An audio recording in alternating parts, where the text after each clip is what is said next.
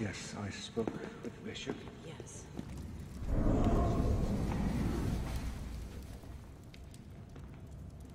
I know what you want, son. Still keeping your all-seeing eye on me, Gabriel. I'm flattered. Well, I could offer something about how a shepherd leads even the most wayward of his flock. But it might sound disingenuous. She has to have Catholic funeral, Father. She has to. Angela, it's still considered a mortal sin. She didn't commit suicide. The bishop believes otherwise. You know the rules, Angela. Oh, rules. Father. David.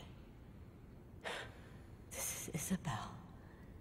God was the only one she ever believed loved her. Please.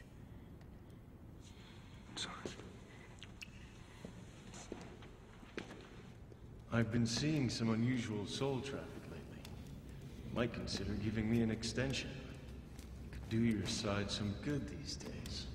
You still trying to buy your way into heaven? What about the minions I've sent back? That alone should guarantee my entry. How many times have I told you? That's not the way this works. Haven't I served him enough?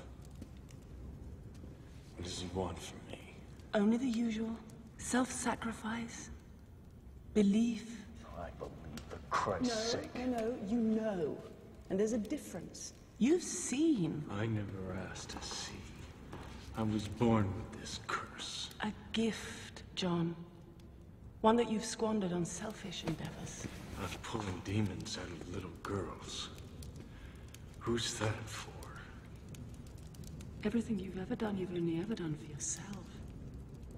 To earn your way back into his good graces. Possible rules, endless regulations. Who goes up, who goes down, why?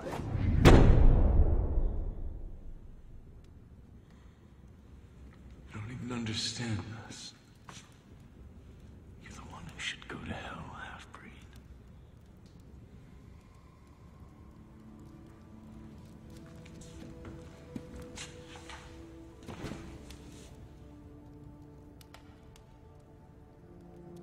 Me, Gabriel?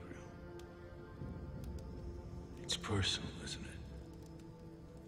I didn't go to church enough. I didn't pray enough. I was five bucks short in a collection plate. Why? You are going to die young because you smoked 30 cigarettes a day since you were 15. And you're going to go to hell because of the life you took.